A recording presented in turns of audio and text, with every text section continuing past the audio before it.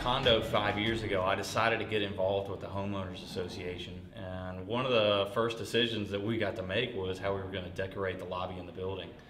Um, so we knew we wanted to put in a pool table, and we started looking at several different brands. The only one that I was really familiar with um, growing up was a Brunswick table.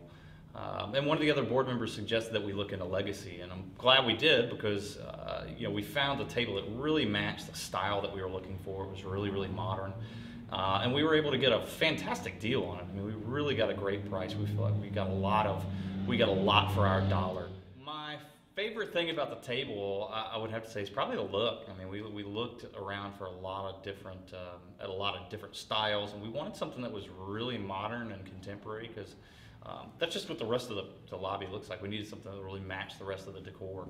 We were able to get a, a, a really contemporary, modern table. Um, you know, obviously, we were able to you know customize some of the different features that we wanted, um, get the color felt that we wanted, and uh, ultimately, it turned out beautiful. I mean, we're all really, really happy with it.